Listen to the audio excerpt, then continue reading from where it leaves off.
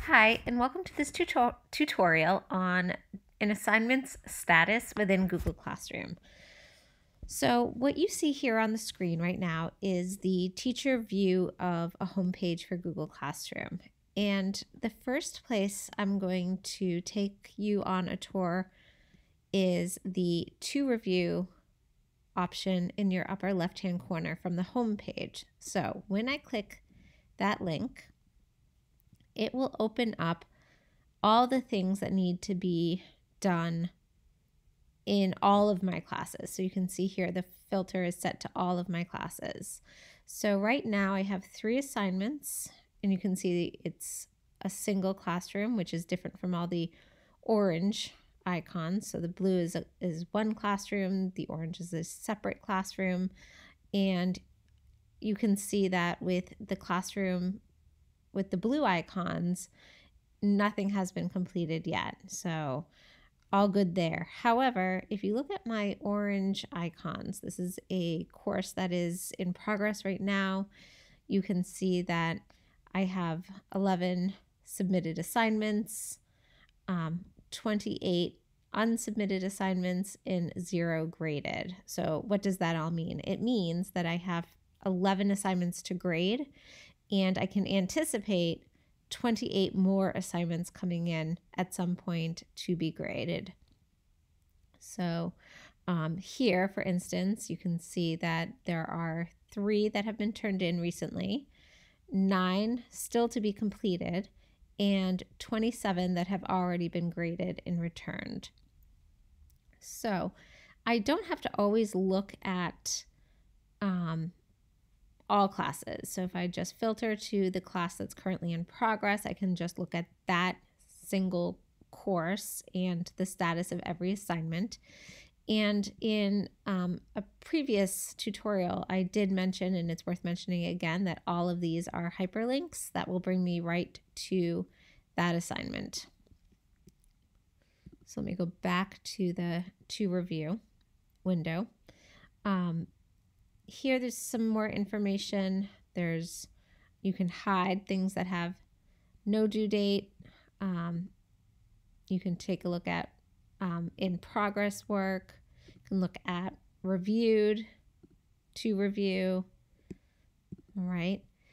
This information I accessed through the to review from the home page can also access this information from the Stream tab of any of your Google Classrooms. So in the upcoming window, you can select the View All option, and it brings me back to that specific assignment. But again, I can always filter it in any way I would like. So this again, this is the teacher view when looking at the status of assignments for your classroom. Now, again, all of these assignments were assigned in the classwork tab and had all as much information as possible filled out. I'm a big fan of due dates. And so again, let me just one last time go back over to classes. You can see here all the due dates. So for this particular course, everything is due tomorrow. Now let's move over to a student's view. So I have a student's view, a student that's in this professional development course here, the digital citizen.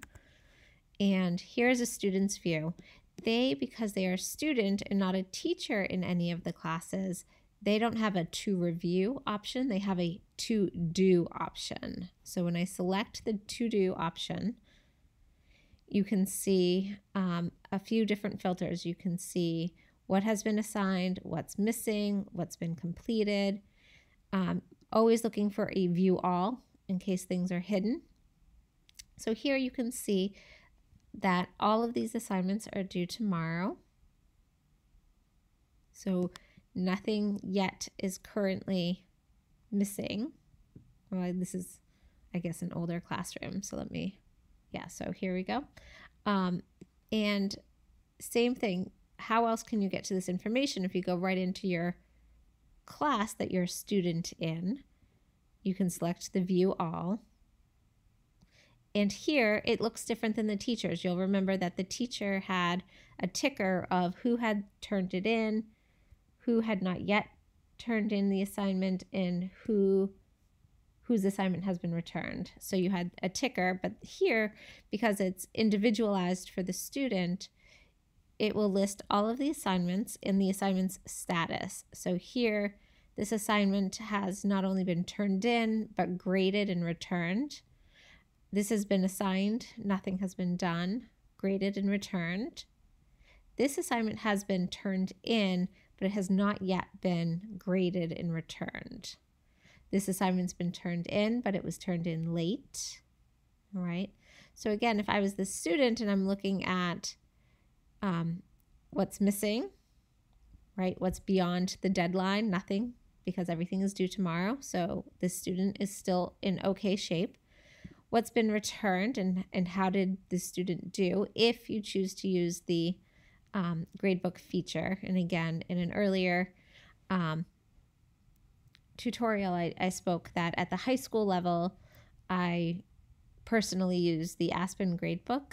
So my students would not see a grade here because I use the Aspen gradebook. And then I, the student can also look at what's what's assigned, what still needs to be completed. And so perhaps you know, the student is ready to complete task 2A and they can again access that assignment directly from that view. So again, you have two options to access that information, the to do option, as well as the individual view all. And of course, there's always the long way where you can just work yourself, work your way through all of the assignments in the classwork tab. So lots of options to help with organization and um, staying on top of the work that has been assigned and staying on top of the work as a teacher of what needs to be looked at. So I hope you found this helpful. Thanks for watching.